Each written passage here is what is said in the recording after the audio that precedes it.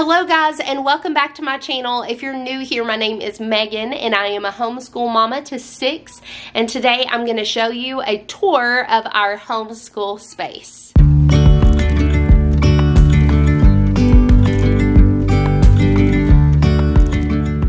Now today's video is actually a collaboration with my friend Toni over at Our Thrifty Homeschool.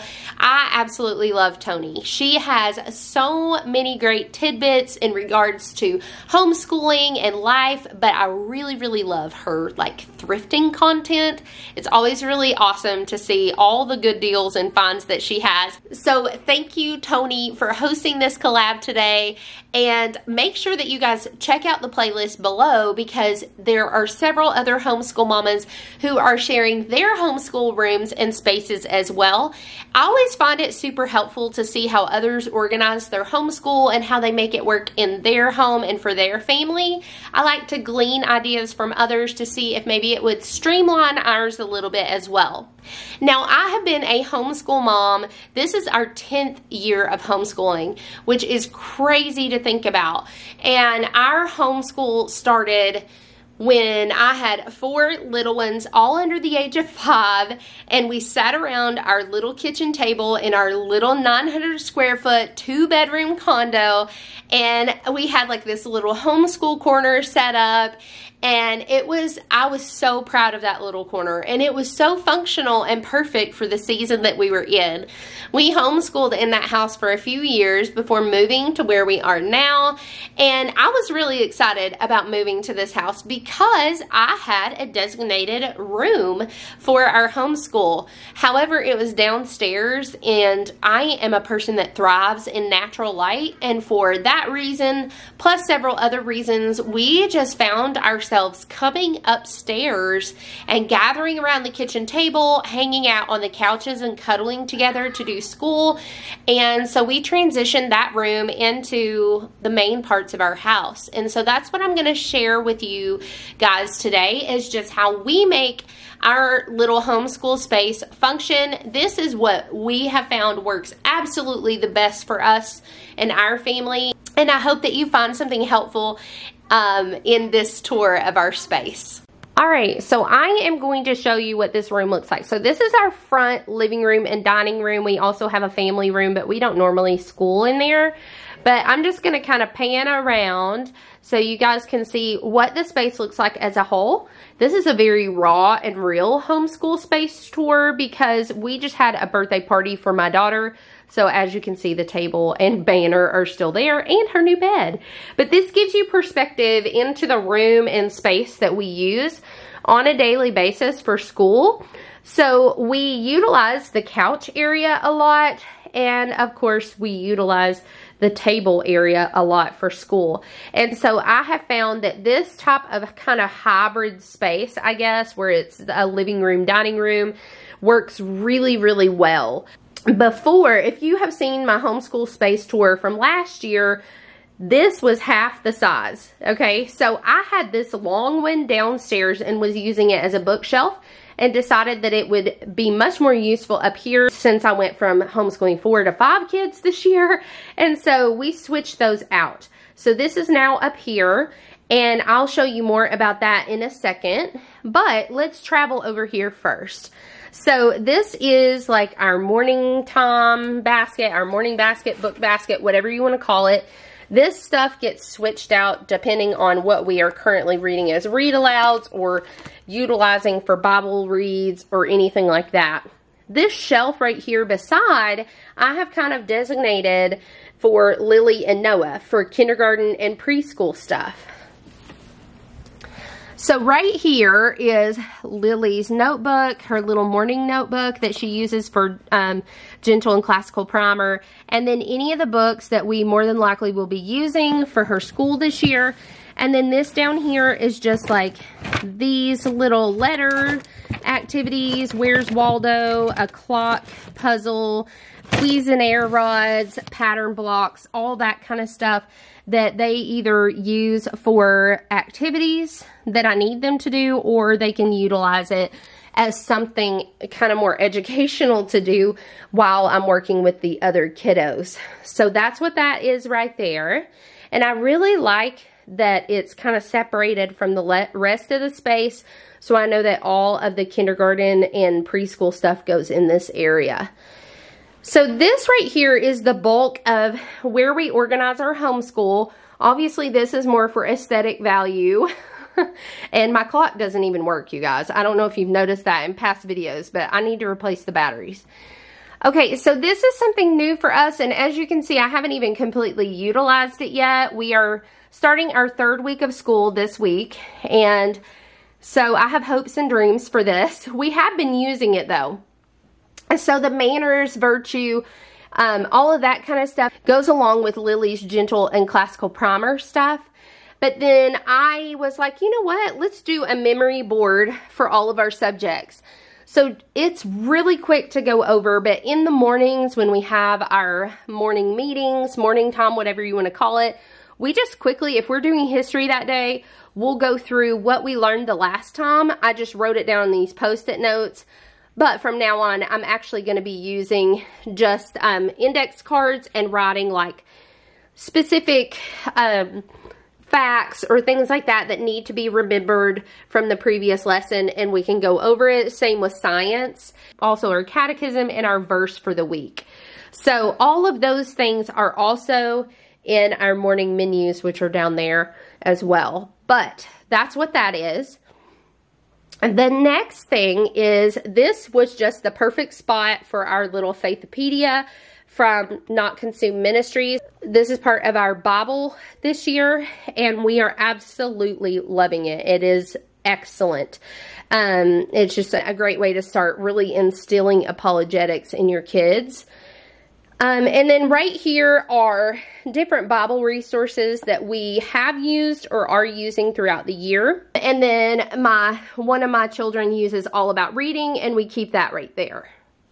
Okay, so this square right here is actually our read aloud basket.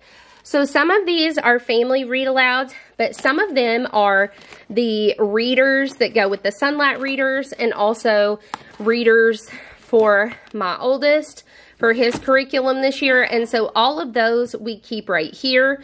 Uh, and this is the folder that has the Sunlight Readers Pacing Guide in it. Down here underneath we have our science and history shelf. So this is where I keep my oldest and the rest of my kids Apologia Science and notebooks. And then all of this goes with our Biblioplan history right here.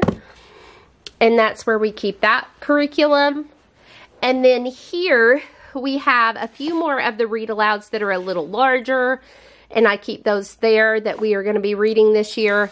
And then this basket is just kind of a basket of resources. It has a reader that one of my kids uses, and it also has the MP3 CDs for our science, this little castle book, our scrunch maps.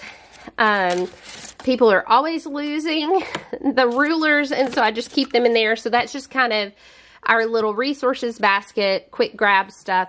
And then right here is where I keep our art and music folders and I just keep them in this depending on what we are studying.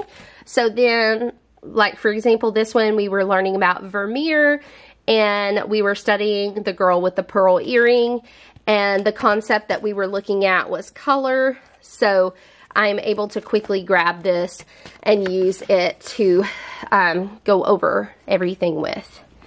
Now underneath we have um, just some other curriculum and resources that we use, mainly language arts type stuff, some books that we use for music and things like that.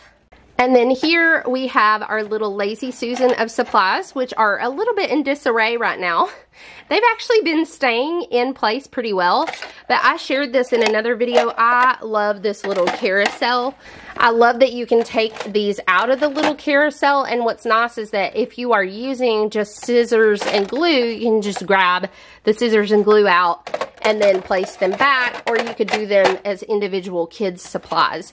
But I love this thing. They had one similar at Target, but this one was bigger and just a lot better quality, and I'm glad I picked this one up instead. I grabbed it on Amazon.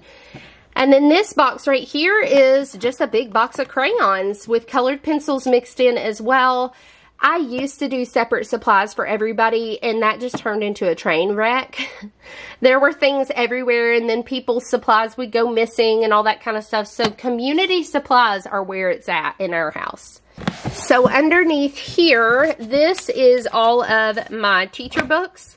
And I just piled them all in here because when they stand up like this, it's really hard to tell what's what. And it's also not really good for the bindings, the spiral bindings to do that. So I just lay them in there flat.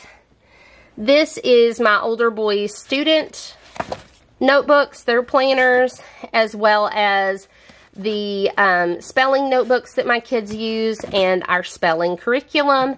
And then this is my little shelf here. This is our morning menus. I keep my planner in here typically. This is the little family guide for our history and that is set up like a planner as well. And that's what's in there. Now this shelf is a well-loved shelf. I shared these in one of my videos. These were around $3 from Target, and I absolutely love these things. So these house our little supplies for busy kiddos. So um, my kindergartner and preschoolers especially, they like to get out either the kinetic sand to play with or this one right here is, I believe this might be, yep, Magna-Tiles. And then this one right here is bristle blocks. And they typically, I try to limit when they can play with these to um, school time and quiet time because uh, it makes them more, it makes them want to play with them more when they don't get to play with them all the time. So that is mostly how we organize our school, but as you can see, the individual subjects are not here. Um, that is because we actually use my kids' Latchmate boxes for that. And I will take you over so you guys can see that. All right, here's my Monica closet. No, I'm kidding. It's actually really organized in here. You just can't see it because these are in front of it. But during the week when we're doing school, we actually take these out and we keep them over here in this area between that chair and this table right there it's just on the weekends and when we have people over, I like to have them kind of put away so they're out of the way. But they have their individual subjects in their little Latchmate boxes.